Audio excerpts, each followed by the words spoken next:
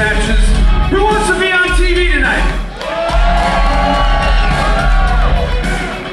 The good news is that if you didn't get some swag from Militia, I got a bunch of swag under my table.